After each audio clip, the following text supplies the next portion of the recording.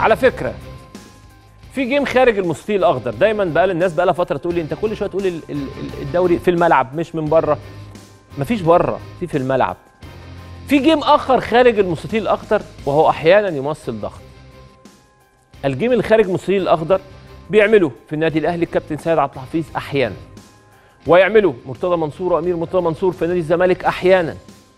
ويعمله في بيراميدز عفيفي أحيانا ويعمله بمستشار تركي الشيخ أحيانا. أحيانا زي ما صرح كده وقال الأهلي بطل الدوري الأهلي فريق كبير الأهلي يمثل اسمه لوحده يمثل ضغط على أي نادي. بتحط لود على فرقة نادي الأهلي وعلى جمهوره على فكرة دي سياسة العالم كله بيتبعها. العالم في مدربين أول ما جم مسكوا الأهلي والزمالك قالوا ما تستنوش بطولة. كابتن جوهر الله يرحمه سافر كأس أمم أفريقية قال أنا هطلع الأخير.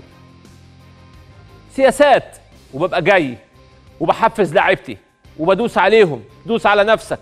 أنا بصرح تصريح خارجي حاجة وتصريح في الملعب قصة تانية. ومن أول دقيقة بقول لكم بوضوح.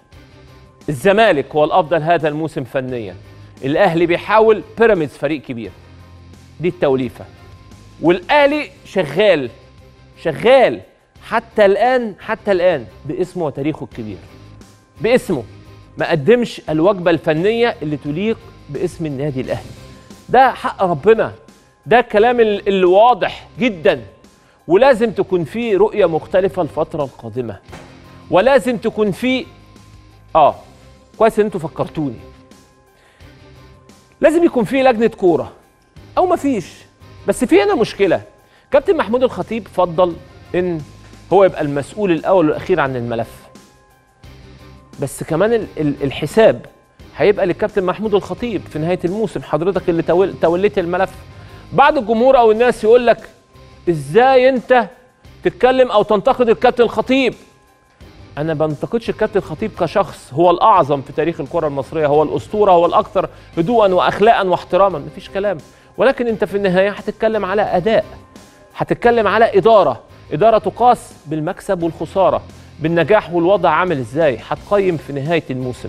إحنا بنشتغل بالطريقة دي لأن هي دي الطريقة الصح وهي دي الطريقة العلمية. وفي النهاية الإدارة ما تتحاسبش برضه على خسارة فريق إنه يرحل أو أو يبقى لا. ولكن في النهاية ده التاريخ وده النجاح. ففي النهاية لو في لجنة أنت بتوجه إن ده للمختصين. ولكن كابتن الخطيب النهارده اختار إن هو يبقى صاحب الملف وهو يبقى صاحب السؤال. فأكيد في النجاح هيبقى هو صاحب النجاح وفي الإخفاق هيبقى هو صاحب الإخفاق ودي هتبقى أزمة. فلا بد إن كابتن الخطيب في الحتة دي يراجع نفسه وممكن تكون تجربة ما نجحتش وتتغير زي بالظبط ما في ناس مشيت من النادي الأهلي والكابتن الخطيب اللي مشاهم والكابتن الخطيب اللي رجعهم وأشدنا بيه وأشدنا احتراما بالناس اللي رجعت منهم الكابتن سيد عبد الحفيظ. وقلت كان الكابتن الخطيب عنده الشجاعة في عودة سيد عبد الحفيظ وهو أفضل من تولى الملف. في التوقيت ده وفي النادي الأهلي.